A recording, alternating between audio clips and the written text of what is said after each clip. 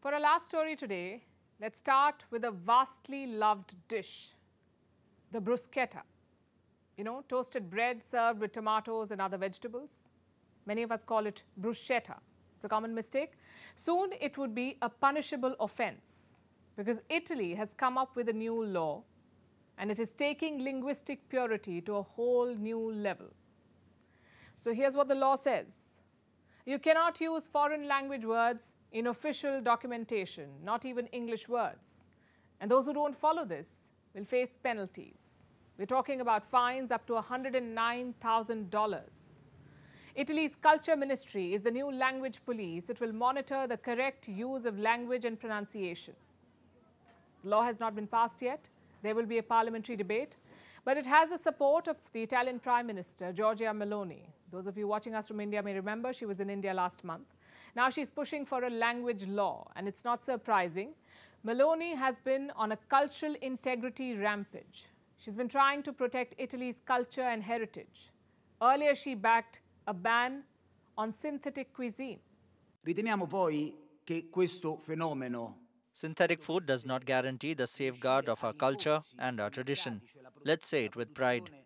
So this is about pride. First the food, now the language. They want to protect it from foreign influence.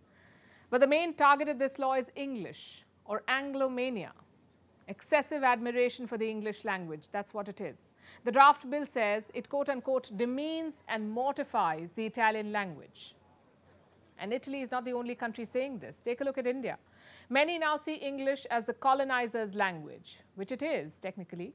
But today, more Indians speak English than Brits. So it's our language too, complete with our own words and phrases in it.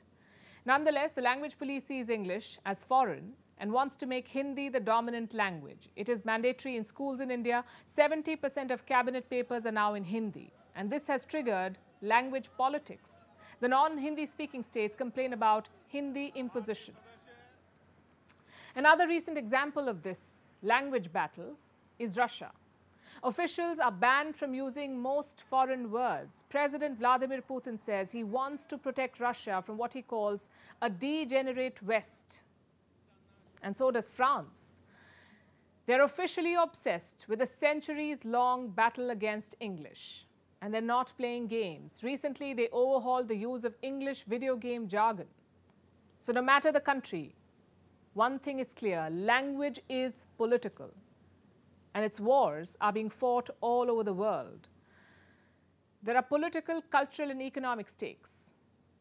But why is the English language at the center of all of this?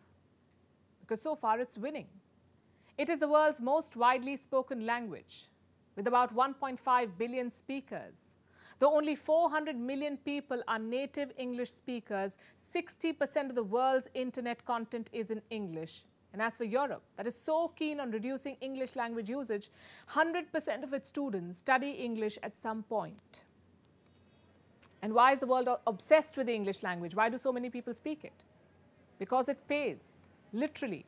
In West Asia, employees with higher proficiency in English earn higher salaries. This goes anywhere from 5% in Tunisia to 200% in Iraq as compared to the non-English speaking staff. In Argentina, 90% believe that English is an indispensable skill. In Asia and Europe, there is an unsaid rule of publishing in English.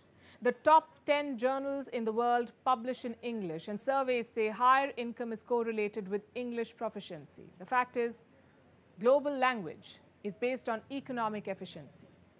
But that does not take away from the fact that it's important to preserve local languages. They should be protected. It is crucial to safeguard cultural heritage. It also protects the beauty of words. They're so often diluted or lost in translation. And protection of native language is part of the resistance to great powers. You see, the language debate is a complex one, but it's a war that must be fought because language can be freeing just as it can be oppressive. After all, the limits of our language mean the limits of our world.